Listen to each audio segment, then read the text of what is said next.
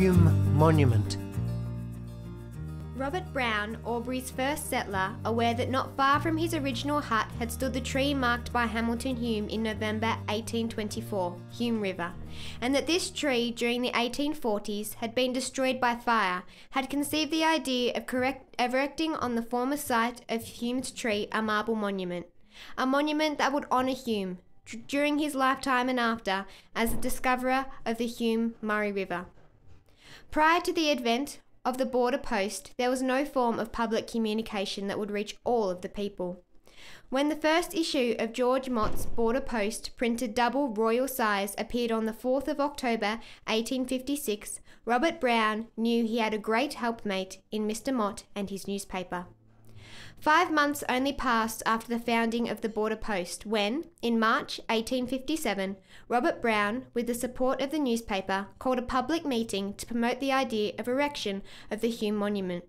Only 15 months were to pass after that first meeting ere the aim was realised.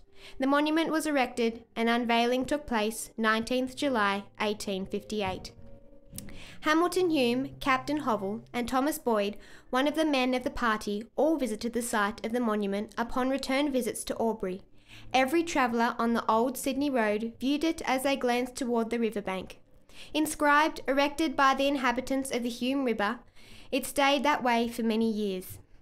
Albury Borough Council minutes recorded in 1884, the Mayor Alderman Thorald moved that tenders be called for the moving of the Hume Monument and re-erecting same in the Botanical Gardens.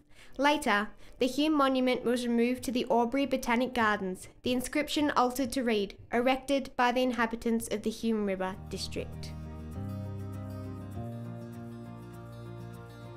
Sources Rosemary Boys, The Hume Monument, pamphlet. That reading was by Annie Jarrett.